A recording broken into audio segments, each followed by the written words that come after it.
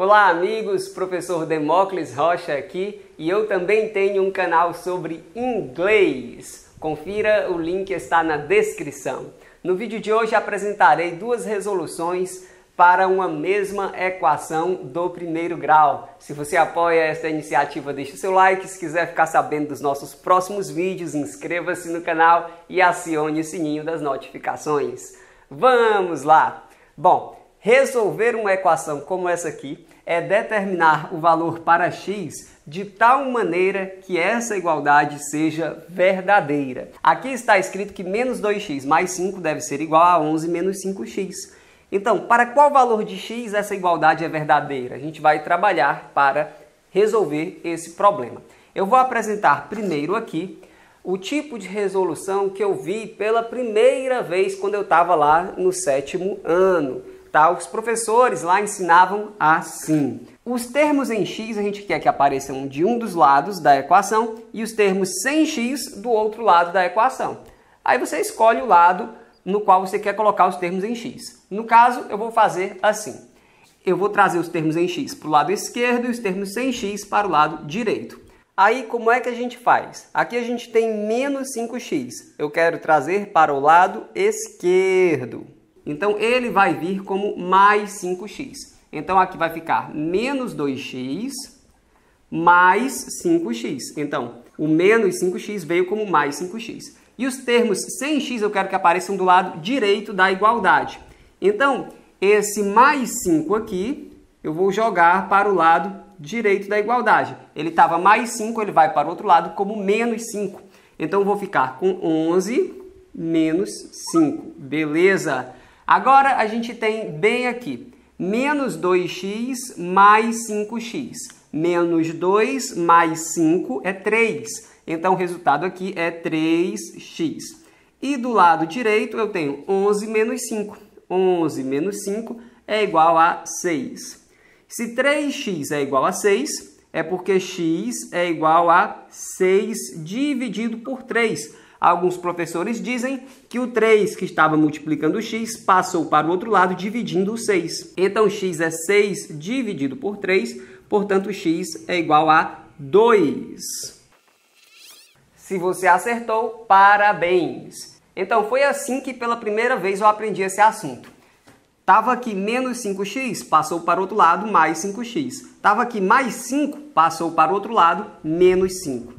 Fiz as continhas aqui, fiz as continhas aqui. Tava aqui 3x, o 3 que estava multiplicando passou para o outro lado, dividindo. Ficou 6 sobre 3 igual a 2. Beleza? Então x é igual a 2. Substituindo x aqui e aqui por 2, a gente vai ter uma igualdade verdadeira. Se você quiser, verifique. Essa maneira de resolver é muito rápida e muito legal. Porém, ela esconde o que de fato está acontecendo. Então, eu acho que é interessante a gente conhecer também uma segunda forma, tá? De observar o mesmo fenômeno. Bom, vamos ver.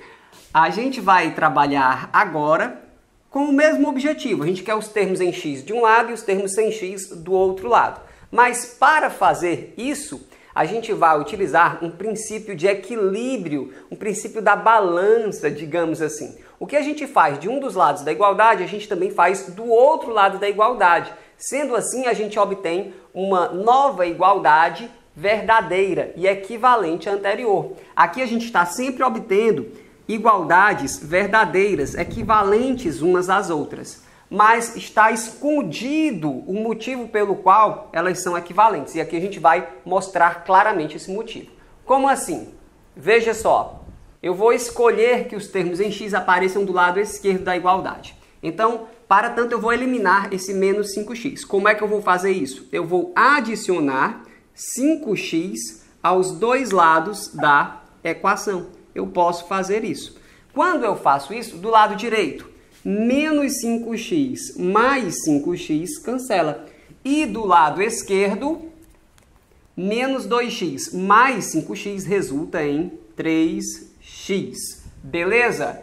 Eu quero que os termos sem x apareçam do lado direito da igualdade. Eu escolhi organizar as coisas assim. Então, eu vou subtrair 5 dos dois lados da igualdade. Eu posso fazer isso. Aí, veja só. Mais 5 menos 5 dá 0. Então, desse lado sobra apenas 3x. E do lado direito, 11 menos 5 é igual a 6. Pronto. Então, 3x é igual a 6. Deixa eu colocar o 3x mais pertinho da igualdade. Pronto. 3x é igual a 6. Para determinar o valor de x, eu quero que o x apareça sozinho desse lado. Eu tenho aqui 3x, eu quero saber o valor de 1x. Então eu vou dividir por 3 os dois lados da equação. Fazendo isso, eu tenho uma nova equação equivalente à anterior. Veja só o que acontece. 3x dividido por 3 é apenas 1x, que eu escrevo assim, só x. E 6 dividido por 3 é igual a 2, e aqui está o nosso resultado, x é igual a 2. Então, fazendo desse jeito aqui, eu estou a todo momento mostrando para você que o que eu faço de um lado da igualdade, eu também faço do outro. O que eu faço de um lado da igualdade, eu também faço do outro, para que eu continue tendo uma igualdade verdadeira e equivalente à anterior, beleza? O que eu faço de um lado da igualdade, eu faço do outro. Então, fazendo isso, eu estou evidenciando que eu tenho ali equações equivalentes, tá? E eu acho que isso é muito legal. Agora, no dia a dia, eu entendo que muita gente prefere só joga para um lado trocando sinal, joga para outro lado trocando sinal. Tá multiplicando, passa dividindo. Tá dividindo, passa multiplicando. Esse jeito aqui pode ser rápido, mas esse jeito aqui eu acredito que explica melhor o que está acontecendo. Agora você vai deixar um comentário dizendo: na sua escola, o professor explica da primeira forma ou da segunda forma? Ou das duas formas, que é o que eu acho mais interessante. Bom, deixe o seu comentário, eu estou ansioso para ver. O vídeo de amanhã é para aqueles alunos que estão ali a partir do oitavo ano. Vamos calcular o valor numérico de uma expressão algébrica. Se você já sabe fazer, deixe um comentário com o valor numérico dessa expressão algébrica aí para esses valores de x e y. Eu vou gostar de ver. A gente fica por aqui. Um abraço e até a próxima. Tchau!